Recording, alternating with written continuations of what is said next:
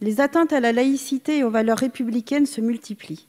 D'abord insidieuses, puis de manière plus ouverte, plus agressive, les tentatives de noyautage des clubs de sport par des islamistes radicalisés ne cessent de croître. Un récent rapport parlementaire, ainsi que le livre d'enquête Le livre noir du sport, font état de ces dérives dans le milieu du sport. Les nombreux témoignages des professionnels du sport, des dirigeants de fédérations, des fonctionnaires d'État, des collectivités territoriales de l'UCLA, des services de renseignement sont à prendre au sérieux. Tous ont signalé une multiplication de dérives, port de signes ostentatoires, pratique de la prière sur les lieux de sport, horaires et jours d'entraînement et de, et de compétition conditionnés par le calendrier religieux, marginalisation ou exclusion des adhérents non musulmans, déploiement des clubs non mixtes et communautaires, prosélytisme, la liste est longue. Ces islamistes radicalisés sont des licenciés, des dirigeants, des encadrants ou des éducateurs. Ils sont présents dans toutes les disciplines sportives et particulièrement dans les clubs de sport, et particulièrement dans les sports de tir et de combat où ils s'entraînent, parfois même pour se préparer avant le passage à l'acte terroriste. Pour rappel, tous les terroristes qui ont commis des attentats en France étaient des licenciés assidus de clubs de sport. Nos services de renseignement français sont bien informés de la montée de ce fléau.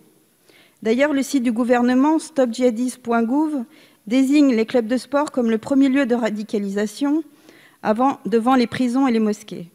Pour les islamistes radicaux, les clubs de sport sont à la fois un lieu d'embrigadement et d'aguerrissement. En 2019, 1270 individus recensés dans le fichier FSPRT s'entraînaient assidûment dans les clubs de sport. Parmi eux, certains sont éducateurs sportifs. Leur rôle et leur influence, notamment dans les milieux populaires, sont très souvent supérieurs à celui des enseignants, des parents ou des encadrants sociaux. Laisser nos enfants entre leurs mains est extrêmement dangereux, voire criminel. En conséquence, je vous demande, Madame la Ministre, où en est le plan national de prévention de la radicalisation? Allez-vous mettre en place un dispositif pour protéger les clubs de sport face à la montée de la radicalisation? Madame euh, la députée. Madame la ministre, euh, je prends acte de votre réponse et je me réjouis que vous comptiez lutter contre ce phénomène de radicalisation. Le sujet doit effectivement être traité avec la plus grande importance et vigilance. Euh, cependant, pouvez-vous assurer que les contrôles dans les clubs de sport seront bien renforcés et que les clubs radicalisés seront fermés? Euh, par ailleurs, les subventions publiques ne pourraient-elles pas être conditionnées au respect des règles de neutralité de la laïcité? Le ministère compte-t-il mettre en place des réseaux de lanceurs d'alerte avec des référents formés sur le modèle du dispositif de la région Île-de-France? Les éducateurs sportifs qui sont en première ligne ne pourraient-ils pas recevoir une formation spécifique à la prévention de la radicalisation et des atteintes à la laïcité et aux valeurs républicaines?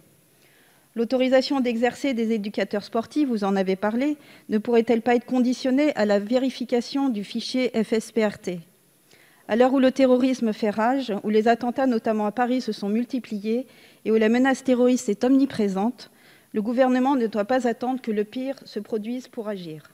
Je vous remercie.